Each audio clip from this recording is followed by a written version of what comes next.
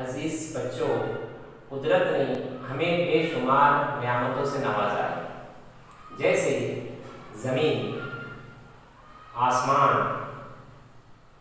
पौधे, जानवर,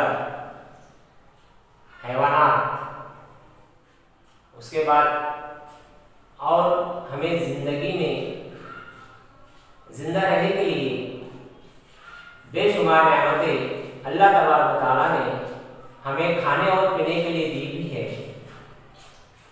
जैसे फल, फूल, मुख्तलिफ़ किस्म का शहद, गोंद वगैरह वगैरह।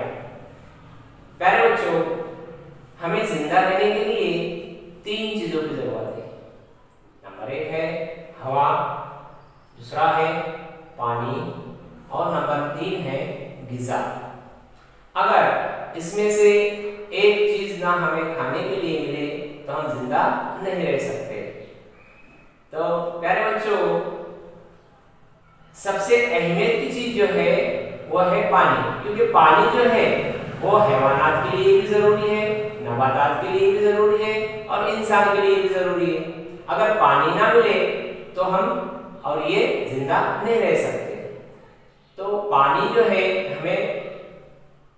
बेशुमार जगहों से हासिल होता है। जैसे बारिश का पानी, ज़मीन का पानी, कुओं का पानी, नदी का पानी वगैरह वगैरह।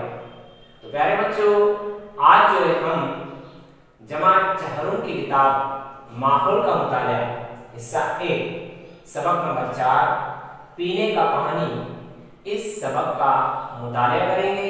इंशाल्लाह अगले वीडियोस में हम सबक शुरू करेंगे। तब तक के लिए आप अपना ख्याल रखिए। खुदा हाफिज़।